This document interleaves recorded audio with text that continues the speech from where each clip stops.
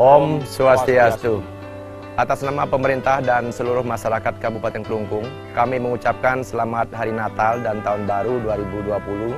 Semoga dengan damai Natal mampu memberikan vibrasi kedamaian kepada kita semua. Semoga di tahun ini menjadi tonggak awal yang indah dalam merawat keragaman dan kebinekaan kita untuk menuju negara kesatuan Republik Indonesia yang rukun, damai, dan semoga di tahun baru 2020 kita semua bisa hidup lebih damai, lebih rukun, dan tentunya bisa melaksanakan tugas dengan sebaik-baiknya demi terwujudnya kelungkung yang unggul dan sejahtera dengan spirit Gema Santi.